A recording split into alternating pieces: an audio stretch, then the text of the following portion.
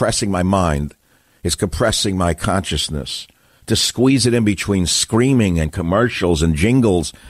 I mean, I'm really not born for this. At the end of the day, as good as I am at this, I'm in the National Radio Hall of Fame. I've made a great career in talk radio. Do you think I'm really made for this? I'm really made to be a philosopher. That's who I am. I'm not made to be. I am a philosopher. I'm a poet. I'm a scientist, philosopher. I'm an artist. But I also know what evidence is. So back in the 1950s, actually it was in the 60s that I read his work.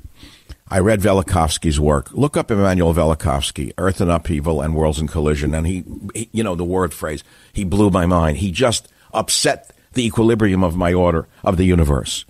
Because he said, how do we explain the skeletons of hippopotamuses in Utah? See, now this goes to the PBS series.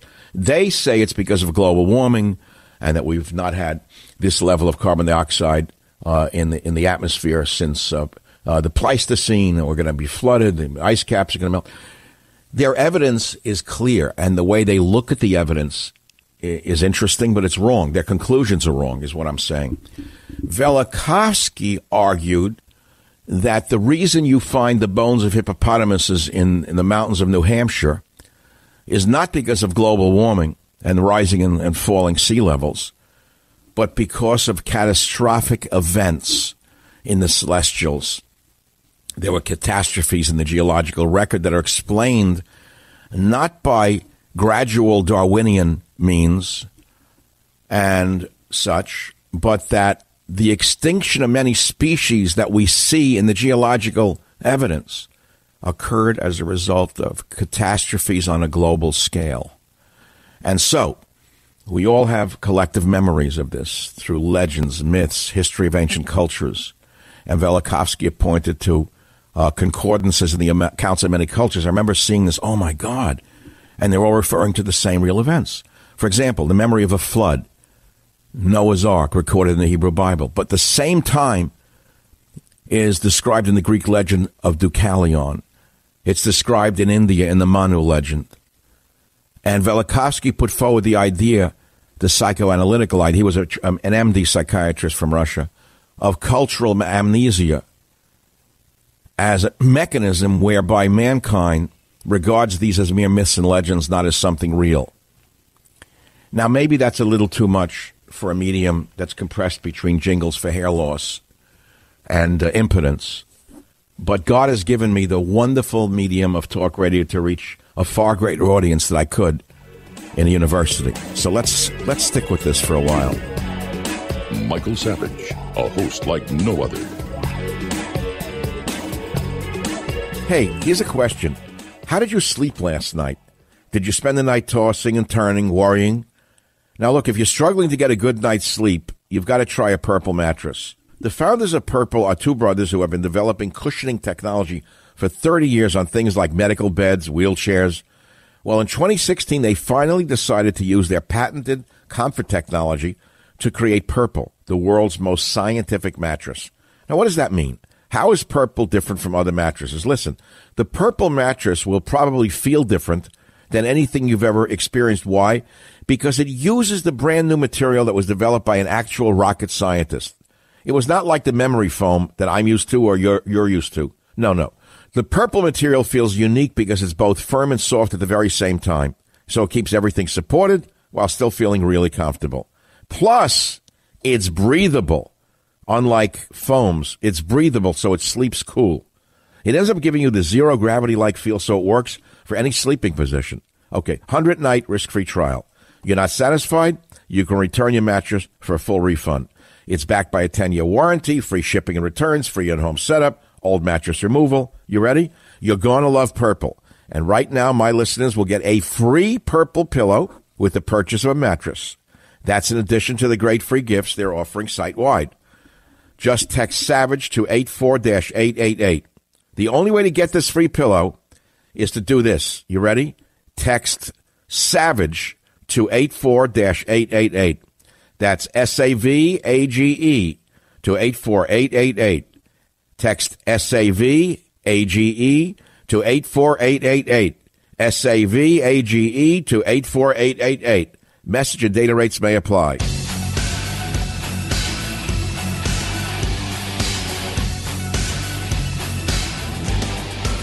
It is the Savage Nation. You know how many topics I've thrown out already? Uh, you want me to stay simplistic? I could. Or we can continue to do whirling dervishes here and lose the audience. I'm not trying to pull your chain. I'm not trying to put you down. But I'm trying to raise you up. Because if we just get mired in the Dem Republican and Trump is great, Trump is evil, it's the death of talk radio, the death of the human mind, as far as I'm concerned. And I don't want to do it. I mean, there are others who do it much better than I can do it. So I want to talk about climate change. I want to talk about is is it something we should really be worrying about? And I introduced Velikovsky, his ideas that it was uh, based upon all of these fossil record anomalies that were pointed out, for example, in the PBS series uh, on the polar ice caps, could be explained by factors other than man is destroying the planet, which is not to argue that I don't think we should reduce pollution. Of course we should. In fact, I've probably done more to save the environment than most of the environmentalists over my lifetime, uh, as you well know. You know, back in 1975, I traveled America over a two year period, and I wrote a book called Plant a Tree. Uh, it's interesting that Trump came up with the idea of planting millions of trees to capture some of the excess carbon in the atmosphere. But there's a problem with that. It's a great idea. I mean, I wrote a book called Plant a Tree. I'm going to send it to the president very shortly because it's a state by state, city by city plan of which trees to use, how to plant them, based upon the experts that I interviewed at the time. So, believe me, I've been into this whole field of environmentalism or conservatism or conservationism, whichever way you want to put it, for a very long period of time. And I don't need a left to, to uh, lecture me on the subject. But, I mean, facts are facts. So let's go back to the facts of the simple questions. Is America ready for its first gay president? Let's make it simple. It's more interesting in a way. It's Rock and Roll Friday. Uh, do uh, what do Red and Blue America see eye to eye on? Uh, these are good questions, and I'd like the answers from you, the audience, on all these topics. And uh, I'll take them in the order in which you're holding. Michael in San Francisco, line one. What do Red and Blue agree on, Michael? How are you? Please just answer the question. Let's not get personal. Okay. Um, uh, yeah, there's a very uh, a few very significant points on which Red and Blue America agree. The first significant one that I would bring up is we agree that rich people and large corporations should pay higher taxes. Rather right, let's pause for a minute. Let's discuss it. I am, by definition, a rich person. I should pay more taxes than I do. Yes. Why? You? I, I took the money from you. Uh, no, I'm, I'm wealthy too, Mike, not Michael. Not as wealthy as you, but I would also pay higher taxes. You asked. Wait, wait, Michael. Let's discuss this rationally. I was born poor to an immigrant family. Every penny I've earned, I have earned on my own. I have paid my fair share of taxes. I've had my birthright stolen from me by affirmative action. I have paid through the nose on my taxes. Why should I pay more? Well, because the masses of of Americans believe that we've gone too far in cutting taxes on wealthy people and corporate. Well, the masses of Americans may be wrong. The masses of Americans are just jealous losers. Well, you didn't ask me. You asked me. You asked me what red and blue America agree on, and I'm telling you. Well, I'm not so sure that taxes. I'm not sure the masses agree on that, but they also agree on other things uh, that you may find to be troublesome. Uh, if you were to say the masses could be swayed to believe that white men should not have the right to vote, it could be that with the, the vote, the way it's been uh, set up by the illegal aliens and such, they could vote on a mandate that white men should not vote. Would that be would that be would that be right or constitutional? Uh, it certainly would not be, but the notion that there are millions of illegal aliens voting in our elections is a fantasy. No, it isn't. You're, you have a fantasy that they're not voting. Why then would the Democrats be fighting so hard to make sure there's no voter ID? What what sense does that make other than to make sure that illegal aliens vote? Well, I don't think the Democrats are fighting uh, in general. Yes, they are. Every time a state had a ballot initiative demanding voter ID, it was the Democrats who fought against it. Uh, under Nancy Pelosi, by the way, why would they want illegal aliens to vote? You say there are none. none. You say there are, it's, it's insignificant. I would argue it's very significant. How, how do you know who the person is when you go to a voting booth? All the years I voted here in the Bay Area, I have noticed line upon line of people. and they will not accept ID. When I try to present it, they say, "Oh no, no, we don't want to see it." All the nice old ladies there, all of the do-gooders. But I think we're getting distracted. Let's talk about taxes for a minute. Uh, what should my tax rate be in California? Right now, it's fifteen percent. Is that is that too low? I'm I am not qualified to debate what the exact rates ought to Do be. you realize how many people like myself are fleeing California because of the criminals who are running the state, who are ripping them off? How is it the state of Florida could have zero taxation or New Hampshire zero taxation and still function as states, while this criminal state charges 13 to 15 percent? That's on top of federal tax. How is that possible? Where's the money going? Uh, the roads are broken. The bums are all over the streets. Uh, where is the money going? They're stealing it. Don't you understand that? No, I don't think that they're stealing it. I think there's certainly inefficiencies, but I also think You don't think they're stealing it? Have you seen the Mohammed Nuru uh, case? Are you aware of the Mohammed Nuru scandal in San Francisco? uh, I'm aware that there is a scandal. I don't remember the details of it. Well, of course, because the Nun newspaper won't let you see that it leads all the way up the Democrat feeding uh, chain. Mohammed Nuru is a scandal that is equal to one of the greatest scandals in American political history.